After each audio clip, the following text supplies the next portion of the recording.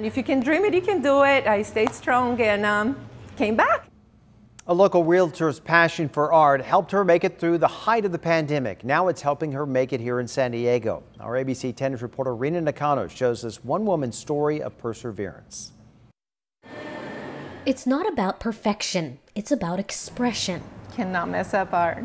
Especially if you paint with passion. Real estate is to provide for my family. I have two children, and I, even though I love it, my passion is here. Owner Karen Guzik says the Art Cafe Carlsbad was supposed to be a holiday pop up shop in 2019, but business went surprisingly well, so she went all in. January, I signed a year lease.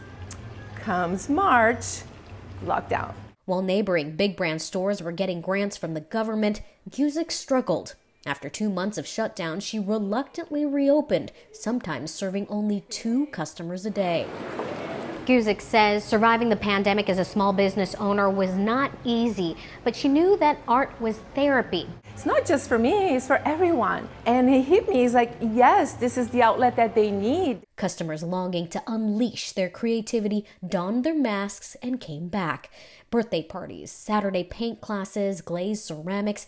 Guzik worked harder than ever to provide that outlet. They can still enjoy quality time with their loved ones in public in a safe way. Her perseverance allowed her to open a second store inside the UTC Mall. Looking back a year, she wasn't sure if she could survive, but Guzik's will to never give up on her passion allowed her to make it in San Diego. If your purpose is bigger than money, is bigger than yourself, things will work out.